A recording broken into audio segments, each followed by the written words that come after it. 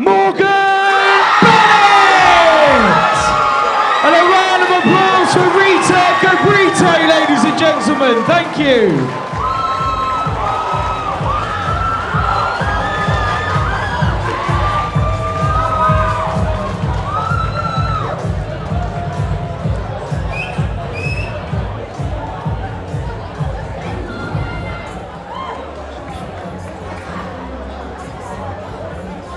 Come and join me in the middle.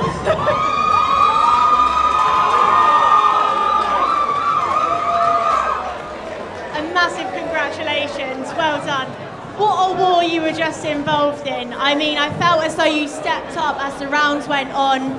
You came across still composed, but you were applying that pressure. How did the fight go in your head? It was tough, but honestly, she hit me with some really hard shots, and I had to like try and hide it because I thought, oh my god, it was tough. But after the first round, my coach, my corner team told me that I needed to up it a little bit, go forward. I was on the back foot a little bit too much. Second round, same again. They really just told me what I had to do, and I listened the best I could. Honestly, it's all my it's all my corner team. They told me what to do. Brilliant. First A class done. What's next for you now? I don't know, whatever, whatever. Whatever comes your. Is there anyone you'd like to thank just before we go that might have um, helped you throughout the camp?